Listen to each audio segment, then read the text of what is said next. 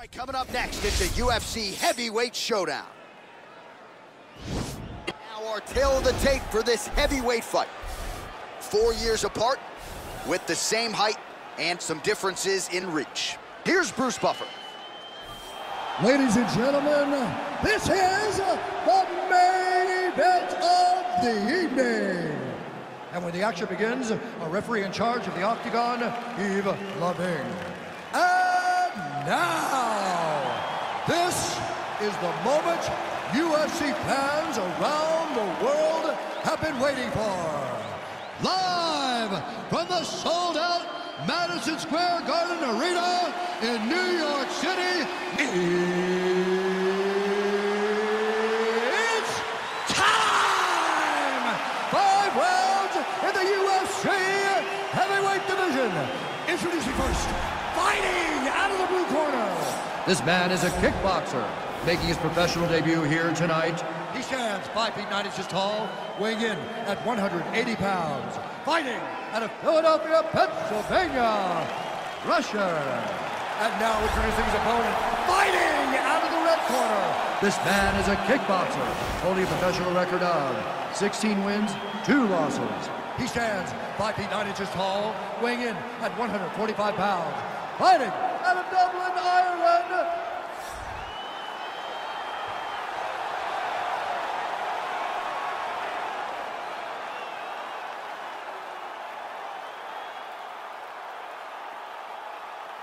Okay, protect yourself at all time, obey my command at all time. If you want to touch left, do it now, go back to your corner. The fighters touch him up.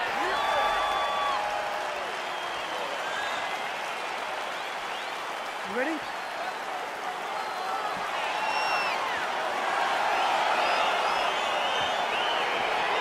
ready?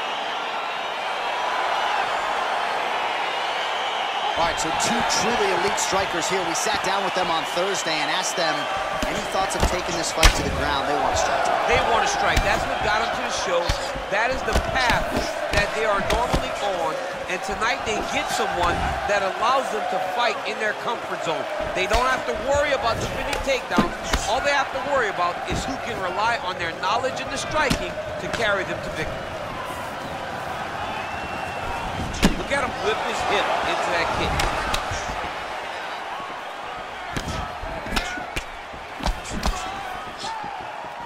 Nice jab, follows it up with a nice right hand. Beautiful strike. Oh, single collar tie here. Ooh. Oh!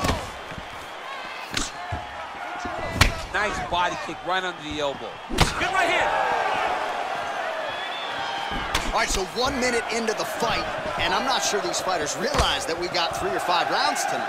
No feeling out process at all. From the moment this fight started, these two gentlemen were ready to knock each other's heads off. Single collar tie now. Look at him whip his hip into that kick. Counter punch is good by Conor. Oh, and there's that patented McGregor left hand. They gotta bronze that left hand and put in the Hall of Famers. I mean, you know it's coming, but because Conor does such a great job of managing space, he's so quick, he's so active, you don't know when he's gonna throw that punch. 27 total strikes have now landed for Conor McGregor. Honing in on those counters. All right, he closes the distance, gets the single collar tie. And a nice job at least staying upright on that. Look at how he turns his hip into that leg kick. Under three minutes now to go in round one. Big punch lands over the top. How's he gonna follow this? And both guys really throwing with authority. All right, so a good job defensively by him here as he raises the guard and prevents any damage. Shades of James Toney. Always seeing things coming at him. He's such a great defensive fighter. Right hand upstairs. Very nice leg kick there by McGregor. Wow, that right punch has been the money weapon for him tonight, and he landed it again there. If his opponent does not change something, he will continue to throw the strike until he makes it stop throwing it. just over two minutes, round one. Big, powerful punch lands. Now we get back to range. Both fighters here continuing to try to get a more dominant position in the clinch, get fatigued in the process, I would think. It's very taxing to be chest to chest, a position we call 50-50 because nobody has the advantage. Who's going to be the one to find that one little area that they can expose to give them the slightest advantage? Beautiful kick. Timing his shots nicely here, champ. He's doing a great job of mixing everything up and using a lot of diverse strikes. Oh, and he lands another pinpoint counter. He has done an excellent job, seemingly all night, remaining patient, waiting for his opponent to strike first, and timing his counters perfect. And they separate. Look at him chopping the wood. Chop the wood with those leg kicks.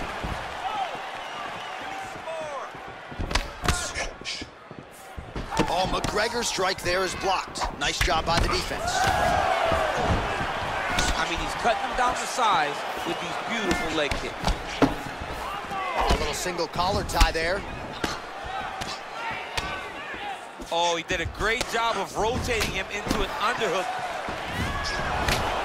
All right, he'll engage in a single collar tie. Just out of range with the big right hand. Grips the body there. He has a commitment to kicking tonight, and it shows. 20 seconds to go. Well, he's certainly keeping busy, DC, connecting with most of the punches he's thrown. I mean, punches in bunches. He's doing a great job. And he landed the right hand there.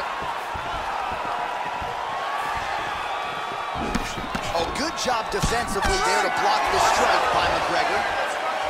All right, so we now look back at some of the action from that previous round, DC. A lot of good highlights on both sides. I mean, a lot of good highlights from both competitors. They both should be very proud of what they accomplished. But I'm telling you, man, I'm not sure they can keep this up. If they land at this clip for another five minutes, somebody's going to sleep.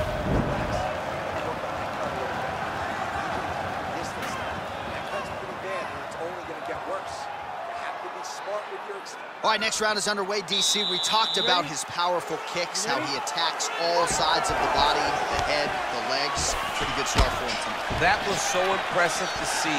Someone fight almost predominantly with their legs and have that level of success. Nice strike.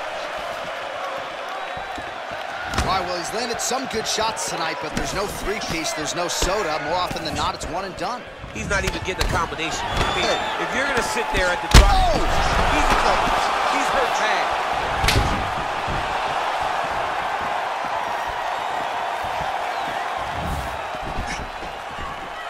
All right, he engages in the single collar tie. Oh, McGregor's hook shot there looked pretty good, but blocked by the defense. All right, single collar tie now. Good shot. And they separate. Oh, he lands a hook there, DC. That was one of his more significant lands of the fight. He can land that strike over and over again.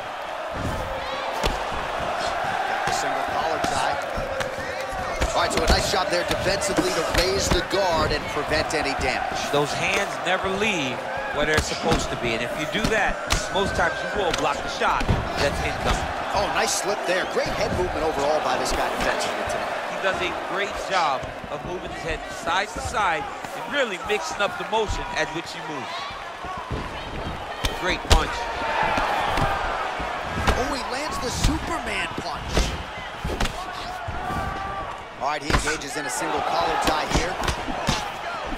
Oh, he lands another strike to the body, really starting to connect on a lot of shots to the midsection. And these Wow,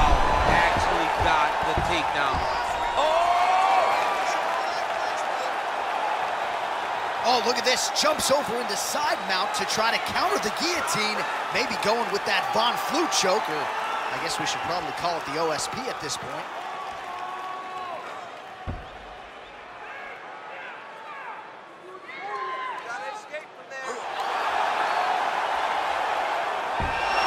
The sheer will is, is really remarkable to watch. All right, full guard here, DC. What does he need to do to improve position? Well, he's got to start to build his posture, get some damage off, move the half guard, which in turn leads to more opportunities for advancement. But if you're on the bottom, you got to anticipate those movements the moment he tries to move to the next position. You build a shield, get back to your feet, or dig an underhook to try to get a reversal or a sweep. All right, so he connects with another punch there, kind of targeting that cut, I think. I mean, when you get a cut on your opponent and you see it and it's pouring blood, you continue to attack it. Every time you land, you can see that it splits it a little bit more. Great job finding that weakness and really taking advantage of it. So a much different approach for him here in this second round. He was a little bit tentative in round one, a little bit of a feeling out process. Now he has clearly found his rhythm, found the range. We'll see if he can continue with more activity here in round two. Huge knee land. Good series of strikes for him there, staying busy and staying accurate. I mean, the accuracy is unbelievable. Oh, man, that left side is getting beat up now. Look at the redness there. Good punch land. They continue to exchange. Whoa!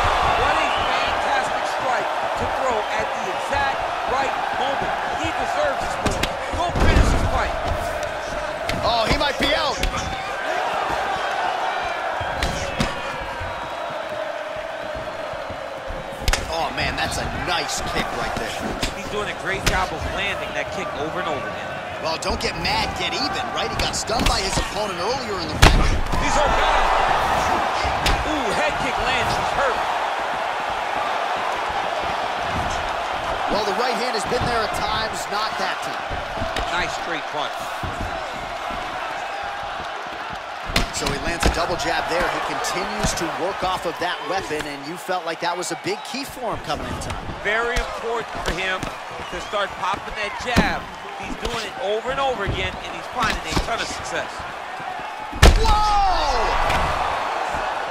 He needs to start looking to finish now because he's got his opponent hurt very bad. If your opponent has you in the clinch, pulling down on your head, landing punch after punch, you have got to clear that collar tie, reach back inside, and try to find space. Beautiful combination there.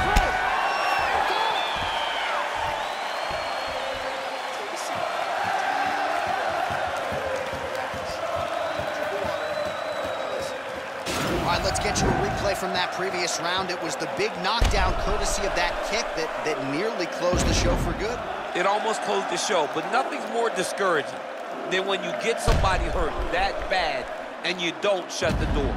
He has to go back to work now knowing that he's got about as tough a guy as, if, as he's ever had in front of him in the octagon tonight. All right, next round is now underway. I thought there was pretty good back and forth action in the previous round. Yes, it wasn't a firefight. It wasn't two guys throwing the kitchen sink at each other. But you did see times when it came together and you saw the skill level of these two fighters. Oh, these are some devastating knees, as we might say in Boston, some wicked, effective knees. I love when you talk like that. I know I think it's so, so good. but there's a guy. I love the way you talk, but I love the way this guy fights, and he's throwing those knees in order to shut the lights off of his opponent. Really timing his shots nicely. Good tempo, very accurate, finding the range with relative ease. Yeah, he's doing a great job of really overwhelming his opponent with activity. That knee might have landed there. And those knees aren't just for effect. Those are doing real damage. Oh, nice job with the knee strike there. That'll wake you up. He thought it would be available. He just knew he had to find the right time to throw it. That was the right time. So a combination of knees here. You don't see this all the time where a fighter will, will throw multiple knees, but if it's not broken, he'll fix it. There's no takedown threat. If there was a takedown threat, he would not be throwing so many knees. But there's no threat of getting taken down, so he is just letting those knees fly. That knee might have landed there. Timing his shots pretty well here early, DC. He's doing a great job of mixing things up, keeping busy, being very active. Another nice knee there. Oh, shades of Ben Saunders against Brandon Wolff back in the day. A lot of knees, a lot of volume here. I'm not sure how many more he can take. My boy Jon Anik is a encyclopedia of knowledge and threw it all the way back. But those knees will definitely take it back this fight goes. All right, working inside his opponent's guard here. You cannot sit in these jiu-jitsu guys' guard. And you can't have one arm in, one arm out. Guys can start throwing up legs, chasing triangles. Would you look at the size of that bruise on his body, his opponent will likely continue to attack. All right, well, both fighters pretty comfortable on the ground, DC, but you got to be very careful hanging out here for too long if you're his opponent. All right, he's trying to control posture here. Now trying to hip escape. He's just trying to move out of this position off the bottom. McGregor's back in half guard. Oh, wow, that happened quickly as the fighter reverses position there on the ground. Unbelievable position change. Wow, what a transition. So he's really starting to put together some significant body shots here. These are going to take their toll as this fight goes on. Back and forth we go here.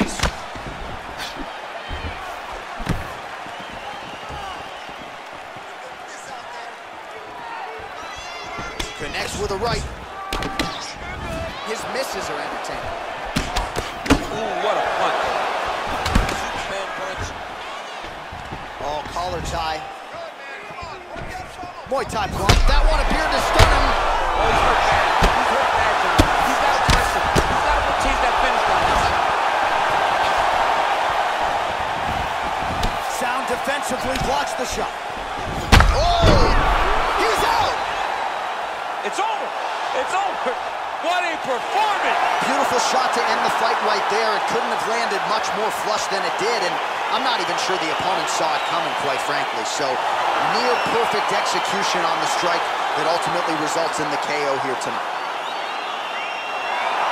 Let's take a look back at the replay. It ends up a knockout, but this was really a striking clinic from the moment they touched it. I mean, a competitive fight that one guy finally found the shot that ended the fight. But both of these warriors displayed a ton of heart. One guy got the finish, but neither guy should be disappointed in their performance. Ladies and gentlemen, referee Yves Lavigne has called a stop to this contest at 3 minutes, 14 seconds of round number three.